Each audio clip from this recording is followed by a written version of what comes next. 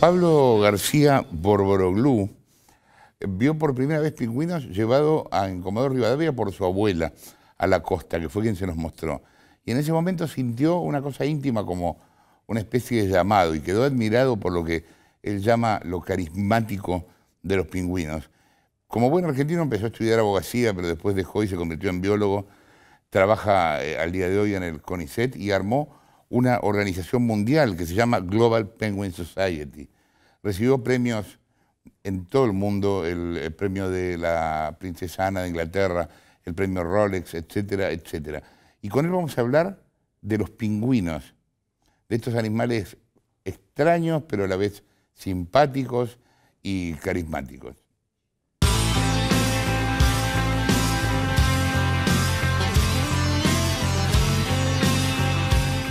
Contaba tu abuela de los pingüinos?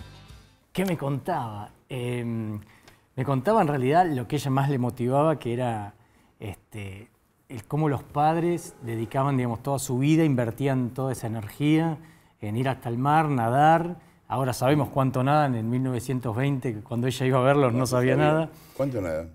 Y bueno, si están en un pingüino de Magallanes, que es el más común, el blanco y negro nuestro, por año están nadando 16.000 kilómetros. Es un auto bien andado. 16.000 kilómetros. kilómetros. Si vos sumás todos los viajes durante la época reproductiva que van, buscan alimento y vuelven, lo sumás a los 5.000, ponele, que van cuando migran ahora, que van hasta Brasil y vuelven, tenés, tenés 16.000. Impresionante. Yo creo que lo, asombroso de mi abuela era, yo era chico, entonces fue la primera persona que me habló de lo que es claro, un, pingüino, y dos, tres años. Pero también después con el tiempo, imagínate, en 1920 estaban explotando elefantes, lobos marinos en Patagonia, hacía poco que se venían de, hervir, servían pingüinos para hacer aceite de pingüino. Eh, el ecoturismo no existía como ahora. No, lógico. Entonces ella, digamos, en, esto era la zona de Comodoro, Chubut. Ella no era de ahí tampoco. Claro, ella era de San Luis, se casó con mi abuelo el griego, por eso el apellido Ajá. tan Bor Exacto. Y, bueno, este, en esos años era algo sorprendente que alguien fuera en carruajes o lo que fuera, en caballos a estos lugares inhóspitos, ¿no? ¿Y, te acostumbraste a ir a ver a los pingüinos en aquel momento después o después lo cortaste? Claro, lo que pasó es que, claro, eh, yo nací en Mar del Plata y me fui al sur a los 19 años. ¿no? Este, mi abuelo, mi tío tenía una agencia de viajes, Sur Turismo, entonces yo empecé a trabajar en la agencia, este, en realidad, bueno, eh, a guiar también, porque había muchos extranjeros, faltaban guías eh, en idiomas. Y, bueno, y ahí empecé a, familiarizarme con todos estos temas, ¿no? Sumado a esto que, bueno, en esos años, los 80, eh, morían 40.000 pingüinos por año en Chubut por el tema del petróleo. ¿Solo en Chubut? ¿Tantos? Este dato solamente del Chubut, o sea, imagínate en otros lados. Eh, entonces eso me motivó mucho, eh, o sea, me impactó. La gente del lugar era como, por ahí era como, naturalizaban el problema, ¿no? Claro. Y vos ibas a las playas y encontrabas pingüinos muertos, muriendo. entonces yo los digamos, los rescataba, los llevaba a una especie de granja que tenía mi tío en un río, entonces yo los rehabilitaba. Ah, ¿podías curarlos de algunos? Sí, vos, en realidad son rehabilitables. Si están en buen estado, si los agarrás a, tiempo, claro. Vos los podés Lo que les pasa con eso, que es que están en el mar y el mar está con manchas de petróleo. Claro, eh, depende del país, digamos. Lo que pasa en África, lo que pasa en Argentina, en Sudamérica es, eh, en esos años, derrames crónicos. O sea, nadie fue el culpable, nadie los reporta y son chicos y son muchos y vos tenés como una, gran cantidad. Y, el, y, el, pingüino lo que tiene es que por sus condiciones no vuela, está, cuando se desplaza en el mar se desplaza mucho en superficie. Entonces, si hay un derrame, eh, lo encuentra y el pingüino, el, pingüino te lo evidencia. ¿Y qué, qué, sucede? Como vemos, el pingüino está cubierto de plumas. Claro. Eh, la pluma se encastra, tiene una estructura que se encastra perfecto. Eh, y esto hace que el pingüino tenga como una capa de, aire y que sea impermeable. El pingüino, como estos que vemos acá, el pingüino emperador de la, Antártida, no tiene frío cuando va al agua. Porque el agua no le toca la piel, salvo cuando se empetrola. Cuando se empetrola esta estructura se daña, entonces... ¿Y por qué? ¿El petróleo pasa a esa estructura? El petróleo eh, hace un pegote, digamos, de, toda la pluma, hace una masa... Y entonces, vuelve vulnerable a esa estructura. Exacto pierde flotabilidad, se hunde, no Ah, puede mira. respirar. Y lo otro que sucede es que también tiene frío y muere de hipotermia, pierde temperatura Claro. corporal. Si está cerca del mar, el, el tipo son muy resistentes, pueden llegar al- a, a la costa, pero mueren porque no pueden volver a comer. Mueren de inanición, por eso la muerte es muy lenta. Tenés 20, 25 días en un individuo que está... ¿Eso dura sin comer un pingüino? Y puede llegar a durar en, en muy buenas condiciones. O sea que mueren las peores ¿Y el condiciones. pingüino come peces? Come, pez, come, come peces, eh, depende del lugar, ¿no? Como puede comer langostinos, este, pulpitos, este, Sí, sí. calamaretes, todo lo que le entra por la boca. le come. Pero sí, come, come peces. Eh, recordemos, digamos, que hay 18 especies de pingüinos ¿no? en el planeta. Entonces, cada una come di- Distintas cosas. De acuerdo a lo que está Acá en, disponible. en- en Argentina, ¿qué hay? ¿De pingüinos? Sí. Bueno, tenemos cuatro especies en este momento, digamos. Una del Magallanes, que es el blanquito y negro. ¿Estos qué son? Estos son emperadores. Esto es la Antártida. Estos son increíbles porque los machos incuban los huevos en el medio del invierno antártico. Es el único Bien. ser viviente que queda ahí. Hace 50 grados bajo cero. ¿Cuánto tiempo tardan en, en, en cubar- en eh, estos ponen un solo huevo, pero oscilan poner entre 40 y 50 días de acuerdo al tamaño, depende. ¿no? Eso es lo que... lo Pero que- son 40 días que se tienen que quedar ahí. El tipo, acá queda el macho nada más, y la hembra va a buscar alimento. Tienen un ciclo muy... Es al revés que los otros animales. E- En este es muy atípico, digamos. Son hembras empoderadas. Claro, tal cual, tal cual, están adelante. Está bien. Y después cuando viene ¿Y la por, qué, hembra... por qué queda el macho a cuidarlo?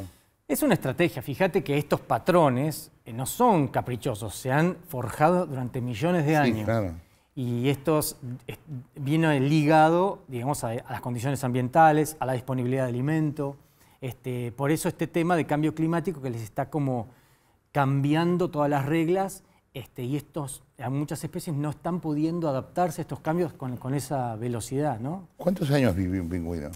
Mira, eh, está buena la pregunta, porque la ciencia todavía no descubrió un sistema. Cuando vos encontrás un ave muerta. Para probar, para probar qué edad tiene. Exactamente. Pero ¿En un, serio? en un mamífero sí, vos, yo qué sé, un ciervo, un lobo marino, vos le- con los dientes, con los huesos, con los cuernos. ¿Y por qué acá no pueden? En las aves todavía no se descubrió. En ninguna ave. No, en las aves todavía no. Ah, mira. Hay algún avance, sí, pero nosotros con los pingüinos la única forma es cuando les eh, ponemos anillos de acero inoxidable cuando na- al nacer, o sea, cuando tienen Claro. cinco meses. Y, pero tenés que tener la, la suerte de encontrarlo después. Hay algunas especies, el nuestro, en Magallanes, hay 65.000 anillados que se anillaron en 35 años. Esto te permite a vos hacer un montón de estudios, porque es la, lo único- Sí, claro. es la única manera de individu- individualizarlos. Claro. Y aparte, eh, hay un- mi tema, digamos, de trabajo en CONICET eh, se llama dinámica de población, o sea, entender cómo las poblaciones de ave marina crecen y se conectan. Este, entonces, solamente cuando vos ves un anillado en una colonia muy lejana, decís, ah, este, ves la, Claro. pasas los datos y ¿De decís, dónde salió? tiene 30 años. Este pibe Y tiene tantos años, eh, claro. lo vimos dos veces y en colonias donde se quedaron, sabemos cuántas parejas tuvieron, cuántos hijos. eh, Eso lo registrás vos como científico. claro, y bueno, trabajo con otros colegas, Sí, sí. que bueno, obviamente este, este- este es un trabajo de, de- de- de equipo y de muchos, ¿no? Sí, sí. Pero digamos, eh, en el Magallánico, volviendo a tu pregunta, vive 35 años, es lo, lo esperado. Ah, mucho. Un pingüino de Adelia, que es uno más chiquitito, que es blanco y negro, es antártico, también vive en 20, 25. Pero el magallánico es longevo, sobre todo porque hay una relación entre el tamaño y, y la edad esperada. Y para un pingüino es mucho, la verdad que es mucho. ¿Y de alto cómo son? Porque yo nunca vi un pingüino. ¿Me puedo parar? Sí, claro. Bueno, de alto, un, bueno, un, un pingüino de magallánico es así, es 45 ah, es centímetros. chiquito. El más chico del mundo es 30, que es un pingüino Ajá. azul que está en Australia y Nueva Zelanda. Ahora, el emperador es así, Ah, es de es 1,30. grande. Es un... Eso es lo que veíamos recién. Ese, y pueden pesar 40 kilos, ¿no? Ajá. Eh, tenés una gran variedad, por eso te decía en el mundo pingüino, tenés un- ¿El pingüino azul es azul? es azulado, es- tiene un gris azulado. Ah, gris eh, azulado. Pero es azul, es azul, es, es, es muy chiquito. Es raro, porque no hay animales azules, ¿no? Claro, es un pigmento especial, sí, hay todo un pigmento. una- hay un gato, el gato de Russian Blue Cat, que es como eh, gris azulado, pero bueno, es todo lo azulado que puede el gato pobre, no es totalmente azul. Viste que hay cuestiones muy interesantes, que hay, hay veces que vos tenés el pigmento azul, pero hay como, por ejemplo, mariposas que, Bueno. viste que tienen, son azuladas, pero por la reflexión de la luz, Por la no por el pigmento. claro, claro. Este, y en aves marinas, bueno, o en pingüinos, tenés muchas coloraciones. El típico es blanco y negro, pero después tenés, en función de lo que comen, eh, el iris rojo, el pico rojo, patas naranjas, las crestas, hay seis especies de que son crestados. Ajá. Eh, ¿viste? Punk. Punk, son re. Son punkies. ¿Viste Happy Feet? ¿Viste las? Sí, claro. Bueno, hay un- uno de los pingüinos eh, que se queda enredado en plásticos, que, que- que él tiene, es un macaroni que tiene los, los penachos. Y ese color depende a veces de la dieta, ¿no? O sea, el pigmento se lo aporta Claro, lo la, que la come. alimentación. Exactamente. ¿Y, y cómo son con las personas los pingüinos? Bueno, depende de la especie. Hay especies que se habitúan más a la presencia humana. Eh, aún dentro de una misma especie, eh, si, por ejemplo, colonias que están abiertas al turismo, que son visitadas, Están acostumbrados, claro. si vos manejás el turismo de una manera que sea, digamos, predecible, o que el pingüino sepa que la gente no va a pasar por determinados Claro. lugares, que si el pingüino ese día no tiene ganas de socializar, por decirlo, bueno, no va. Eh, pero si esas reglas son siempre respetadas.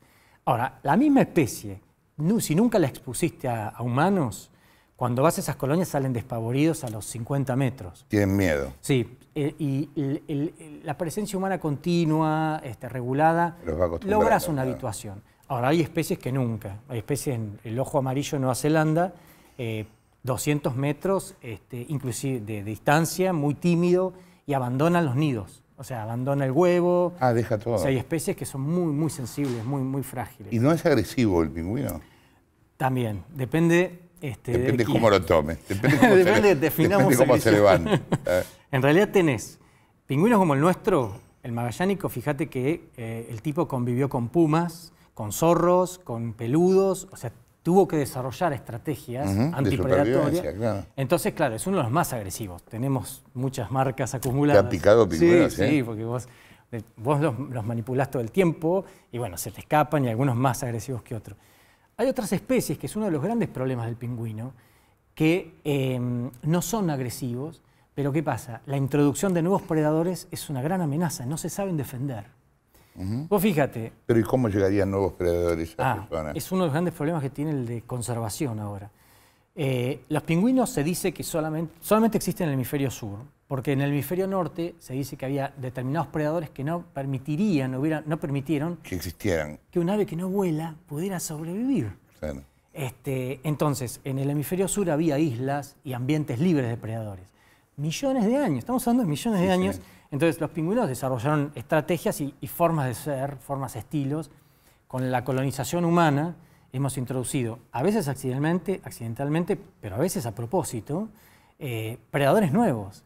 Eh, ratas, este, bisones. em, Nueva Zelanda es un gran tema porque Nueva Zelanda eh, no tiene mamíferos salvo un pequeño murciélago. ¿no? Australia y Nueva Zelanda son dos lugares rarísimos porque los animales más raros Sí, del mundo sí. terminaron ahí. Y yo no entiendo por qué, pero en algún momento cuando se separaron los continentes quedaron ahí cada cosa extraña. Claro, bueno, y- los canguros, qué sé yo. Exactamente. Hay un montón de animales que no hay en otro lugar, ¿no? Y tiene mucho que ver con los procesos de Los especiación. kiwis, el, el bicho ese, la gallina peluda esa. Sí, el ornitorrinco. El ornitorrinco, Eh, por tiene- eso sí, sí. Bueno, y tiene mucho que ver con el aislamiento, porque eso como de alguna forma Bueno. tiene que ver con la- el proceso de formación de nuevas especies, ¿no? Eh, pero en Nueva Zelanda, te decía, cuando se colonizó, llevaron de todo para que los, los, los colonos se sintieran eh, En en, su casa. casa. Ahora hay, hay una- un bichito que se llama possum, que es una especie de zarigüeya, una comadreja, hay 70 millones. No te miento, hay 4 millones de habitantes y 70 de estos... De estos Pero ¿y eso se come a los pingüinos? Sí, se come un montón de Pero aves. mucho más chiquita. Eh, se comen los pichones de los pingüinos. Ah, los pichones de los pingüinos. Y comen otras aves adultas también, comen de todas. Vos estás ahí trabajando, nosotros trabajamos de noche en Nueva Zelanda, y es pasan y pasan los possum por todos lados. Ponemos cámara trampa, que son cámaras que detectan movimiento y sacan por todos Están lados. todo el tiempo sacando Nueva Zelanda tiene una estrategia muy eh, agresiva contra los, los predadores. Ahí está eh, jabalíes en las islas eh, subantárticas, o sea, es un tema. Por eso esto de la agresión que vos Claro. decías, ¿no? Claro. Fíjate, y, y un tema, esto es un tema terrestre. En realidad, un- un- lo que nos enfrentamos ahora en el mundo pingüino es que de las 18 especies, más de la mitad está amenazada por la Unión Internacional de Conservación de la Naturaleza. Porque como ocupan ambientes marinos y también terrestres, acumulan amenazas en los dos. De los dos lados, claro. Cambio climático o polución marina eh, y también el tema de las pesquerías comerciales en el mar es un tema. Y cuando tocan tierra, el disturbio humano, porque no, no todo el mundo se comporta como corresponde. El pingüino es un ave muy carismática, pero hay gente para todo, ¿no? Y tenemos muchos problemas, y acá en Argentina también. Y otro tema, la introducción de predadores. Y, y estamos teniendo un temita con el tema del tráfico ilegal de pingüinos. eh, que estamos estudiando la magnitud. ¿Para qué los cazan? ¿Hay gente que caza pingüinos? Entonces es que no, no es para consumo ahora, no es para consumo, digamos, de, de- de matarlos, pero eh, ni para come- comerlos ahora. Está prohibido en todos lados. En algunos lugares en Perú antes quedaban atrapados en las redes de pesca. eh, y bueno, luego los comían, pero bueno, está regulado, está prohibido. El tema ahora es la mejoría de la economía china. Porque con esto hay mucha más demanda por lugares de entretenimiento y cada vez que hablan en un Ok. mall quieren un acuario con Los cazan para, exhibirlos. y hay todo un comercio ilegal, este, legal e ilegal, que necesita verse, revisarse y porque se están ro- nosotros recibimos denuncias, o sea, estaban robando con helicópteros pingüinos de, de África, de unas islas, los llevaban a países rarísimos y de ahí lo vuelan al sudeste asiático. En sur de Chile hace 25 años también fuimos y eh, pagaban 200 dólares el pingüino vivo y lo llevaban en... Todavía estaban, están las cajas donde ponían los pingüinos vivos, venían unos botes y se los llevaban a los buques. Eh, y bueno, y hay veces que... ¿Y el pingüino puede sobrevivir fuera de su zona? Sí, obviamente, es una vida en Ah, cautiverio. bueno, claro. Pero no Este, se muere por estar en cautiverio en otro lugar. Puede variar de si está... Porque capaz se puede morir de qué sé yo, de tristeza, de que no le Hay mucha, hay mu- que no obviamente... se adapta. Bueno, Depende de los casos, hay hubo mortalidades muy masivas cuando las cosas no fueron bien. Si están en un ambiente que está controlado y demás, este, bueno, de- pueden sobrevivir. Un tema grave es cuando nuestros pingüinos migran, eh, van a muchas veces, porque están enfermos o empetrolados, terminan en centros de rehabilitación. Hace varios años hubo un caso muy, muy denunciado que en Uruguay uno de estos centros le vendió 30 pingüinos a eh, España en ese momento para exhibirlos. Sí, con la excusa de que no se podían liberar de vuelta. Todos estos pingüinos terminaron muriendo eh, y hay toda una historia. Cuando hay, hay lugares como acuarios en distintos lugares que tienen esos pingüinos y no traen más, los crían, los pueden criar en cautiverio determinado. Y esos los venden, pero cada pingüino te sale 20, 30 mil dólares. En cambio, de esta otra manera, por izquierda, consiguen pingüinos por 3 mil, 2 mil y esto genera todo Y los este pingüinos se reproducen estando en cautiverio. la- hay especies que sí, hay especies que sí, que permiten a- a- hacerlo. Pero es todo un mundo. Ahora estamos entrando en China y tienen, nos acabamos de enterar, tienen la colonia más grande de estos pingüinos en cautiverio, tienen como 400. eh, a veces han llevado huevos, o sea, hay toda una historia. El tema es, está mal tener pingüinos de mascota, está mal Sí, digamos, sí, determinadas cuestiones. Y obviamente, si hay mecanismos legales de hacerlo, hay que respetar todo eso. Obvio. El, el pingüino no- nunca puede ser un animal doméstico, digamos, bajo ninguna circunstancia. No debería serlo. Podría serlo, viste, no sé si escuchaste este verano que alguien en, En una casa habían encontrado, que se ¿no? lo llevaron a, En a San Córdoba, Juan, en Córdoba, en a algún lugar, sí, en Córdoba. Claro, la familia lo vio en la costa, no sé si en Necochea y, o no sé dónde. Sí, sí, sí, sí. Se lo cargó en el auto y se lo llevó a Córdoba. Claro, bueno, eh, eso acá está prohibido, no, no puede ocurrir. Este, a veces, bueno, pobres pingüinos, como la gente los asocia al hielo, la mayoría, fíjate, la mayoría de los este, documentales, Sí, sí. dibujitos, películas, son de estos porque son muy carismáticos. Sí. La gente piensa que necesitan hielo. En realidad hay cuatro especies que están más asociadas a estos ambientes. El resto son templados. Hay un pingüino tropical que vive en el trópico, en, en Ah, Galápagos. o sea, hay pingüino que le pones cielo y se caga de frío, No, digamos. no, se muere. Entonces, ¿qué Ah, se pasa? puede morir, sí. Oh, sí, porque, porque no, no, no, no están preparados para... Ah, ¿Qué mira. pasa? Cuando nuestros pingüinos a veces iban a Brasil hace muchos años, eh, o los encontraban en latitudes más altas, hay gente que los metían en, en baña- Bañeras con hielo, claro. en, en heladeras, ¿no? Eh, por, con este, y es un ¿Cómo vas a pingüino... poner un pingüino en la heladera? ¿En serio? hacían Ha- eso? Había de todo. Y hay, hay gente que quiere ayudar y a veces no, no sabe cómo, digamos, este, por favor no pongan su No, sí, pingüino en la por heladera. favor, no la Hagamos un llamado a la... Tal cual, tal cual. Por lo menos en el freezer. Claro, claro. El No, tema es que, bueno, por favor. son pingüinos que... el- ¿Y vos te hiciste amigo de algún pingüino en to- tantos años?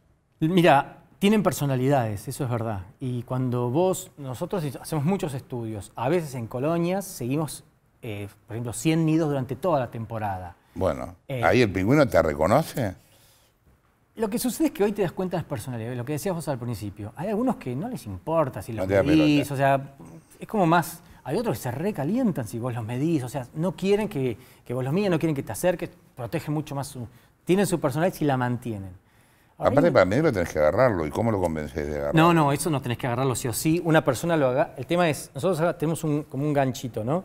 Los agarramos, pues, nidifican los nuestros en nidos, que son como, son cuevas en realidad, que son como quedades abajo de arbustos o huecos, ¿no?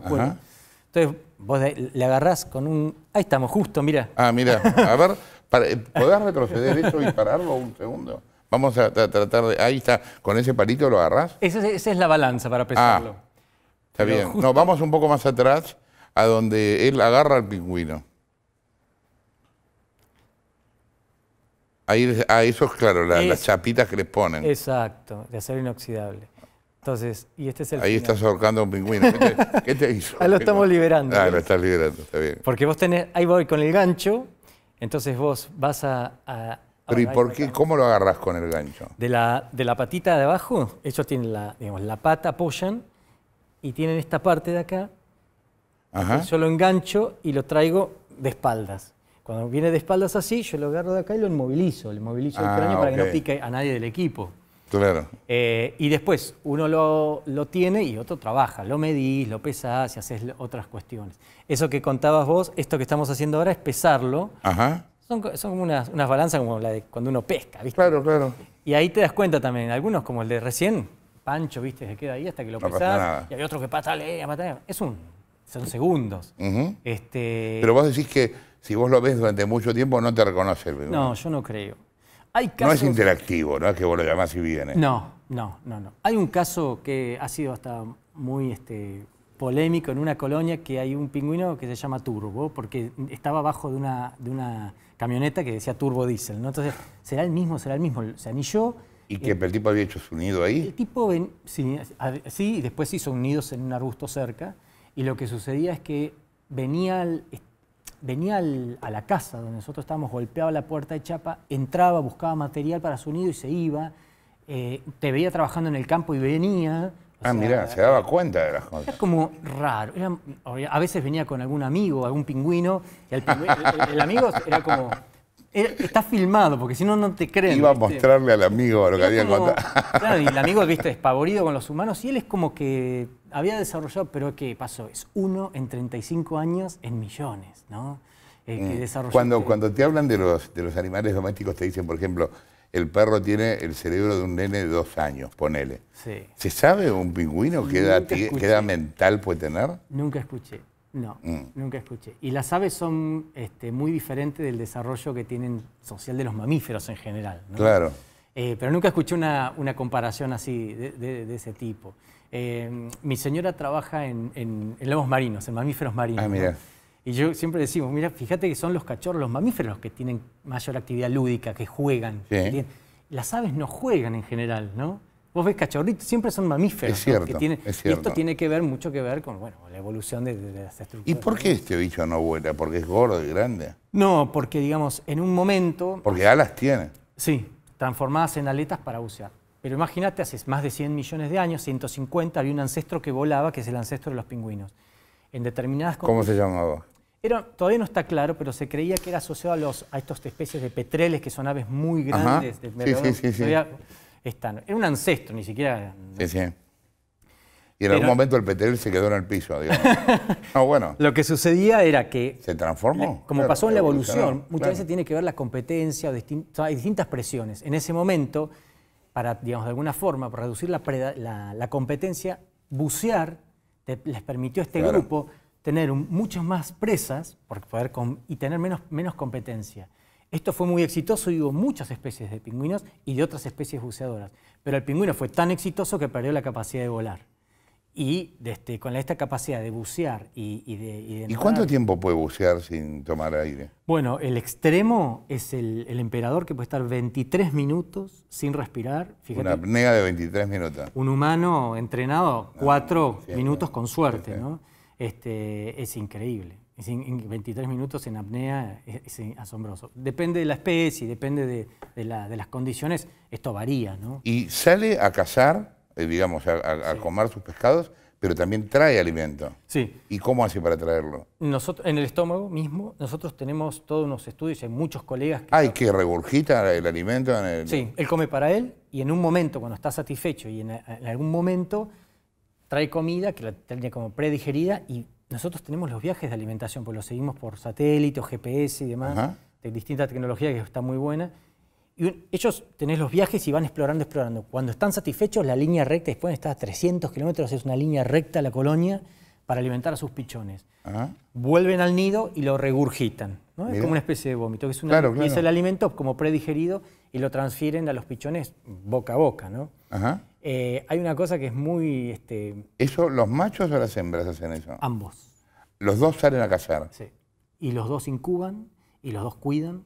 Eh, nunca uno abandona el nido, ni los huevos, ni los pichones. Siempre uno está haciendo guardia, el otro va, vuelve y vuelve otro, y así todo el tiempo durante 3-4 meses, que dura la temporada reproductiva. Eh, fíjate, esto mm, tampoco es casual. Esta, digamos, monogamia que se genera en esta, dentro de una temporada es porque es la única estrategia para criar pichones vivos.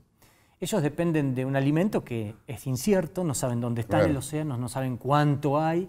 Entonces, la única manera de tener alimento y tener cuidado es asociarse como pareja y, este, y hacer esta estrategia. Pero ¿qué pasa? Muchos han estado muchos años reproduciendo juntos. Un- nosotros hemos seguido una pareja que estuvo 17 años juntos. ¿Qué- pero esto no es que ellos reproducen de septiembre a abril. En abril migran, como te decía, se van a Uruguay, el sur de En Brasil. este caso se iban juntos. No, no se van juntos. Cada uno se sube, es un permitido, digo yo, ¿viste? De seis, siete meses, eh, cada uno hace su vida. Pero cuando empieza la temporada tienen mucha eh, adherencia, mucha son muy fieles a su, a su nido. Entonces, como consecuencia, se, se unen este, y ahí es cuando vuelven a criar eh, nuevamente. Pero tenemos divorcios, hay divorcios, y la principal causa es cuando no lograron criar pichones vivos. Entonces, es muy probable. Claro, cuando no cumplen con el objetivo de reproducir. Exactamente, que es el fin de la especie. Claro. Entonces van a intentar con otra pareja para aumentar las chances de, de criar pichones Y, y tienen, así, viste que los pájaros tienen como cortejos entre ellos. ¿Qué hace el pingüino? Baila. y muy- hay pájaros que saltan Sí, y bailan. Es- no, es- y, y- y- y la hembra mira como diciendo, ¿y este qué, ¿Qué hace? le pasa? Claro, pero no, después se lo lleva. O sea, Sí, sí, sí, porque está eligiendo. hay como un cortejo. ¿Eh, ¿Los pingüinos hacen eso también? Sí, sí, sí, sí. Inclusive cada especie tiene su vocali- hay vocalizaciones, hay este, no te diría danzas, pero en el pingüino normal viene la hembra, el macho como que la rodea, trata de aletearla, digamos, la aletea, se hace un display, un despliegue, como que este, muchas veces se dice que el nido tiene, que es el principal capital y tiene mucho que ver con la atracción de la hembra. Depende ¿El nido lo arma el macho? Lo arma el macho, el, el macho llega primero, Ah, mira. eh, reconstituye, reconstruye su nido y es como, digamos, una especie de... Este, y fíjate vos, la hembra que mira, a la hembra qué le importa, a la hembra le importa que sus pichones sobrevivan, Claro. que sus genes también Que el sobrevivan. pingüino tenga un departamento. Exacto. ¿Cómo te puedes- si, si este tipo tiene, tiene este buen nido, si está cubierto, está protegido de predadores, el Está sol bien. no le va a hacer mal y la verdad que tuvo la capacidad de hacer este nido y defenderlo, Claro. este, porque pelean mucho, hay muchas peleas. ¿Entre ellos por, por el nido? Sí, el- eh, cuando ¿Pero qué llegan- quieren? ¿Uno robarle el nido del otro? Sí, hay mucho de eso. Ah. Al principio de la temporada llegan los machos, reconstruyen, muchos vuelven a sus nidos, otros tratan de birlar el- otros nidos, o muchos es por, por primera vez tienen que tener un nido. Claro. Y está desocupado, entonces a veces llegan, eh, lo ocupan, pero después viene el dueño real, y Ah. a veces hay dos que, se, que, que piensan que, que es el, que es su nido, porque a veces saltean temporadas. Entonces por ahí tenés algunos que ocuparon el mismo nido, pelean mucho, son muy agresivos en esa temporada, los picos de, de testosterona están al- a full, entonces se, se lastiman mucho, Ah, sangran, mira. se cortan, este, y bueno, una vez establecido, después empiezan a llegar las hembras. ¿Y cuánto tiempo crían al pichón? Mira, ellos llegan, eh, se ponen dos huevos, para hablar del magallánico, el nuestro, ¿no? Sí, sí. Eh, ponen dos huevos, lo incuban 42 días, Siempre no pueden poner más de dos. más de dos. Hay algún caso No, excepcional. no, pero está bien, pero regularmente ponen dos. Dos, esta especie de Tampoco dos. uno, ponen dos siempre. Dos, sí, casi siempre dos. Este, es la regla y, y luego lo incuban esto de la misma forma, los dos, ambos, macho y hembra, se toman turnos y luego nacen los pichones. Toman turnos. Sí, se turnan, o sea, cuando el macho incuba, ella está comiendo, cuando ella vuelve recién él va, Ah, todo el tiempo así. Y nacen los pichones y desde ahí hasta febrero, más febrero, marzo, o sea, son tres meses casi, están todo el tiempo yendo al mar, buscando comida, volviendo Para a alimentar al pichón. y eh, pierden mucha, eh, mucho peso, mucha energía. Este, es muy demandante. Claro. Es muy demandante. Sobre todo si tienen dos que sobreviven. Porque la cantidad de alimentos y la capacidad, la experiencia de los adultos determinan quién sobrevive. Eh, en años muy malos, que no hay comida, no sobrevive ninguno. A veces uno y en años buenos sobreviven dos. Pero que después tenés dos pichones que alimentar.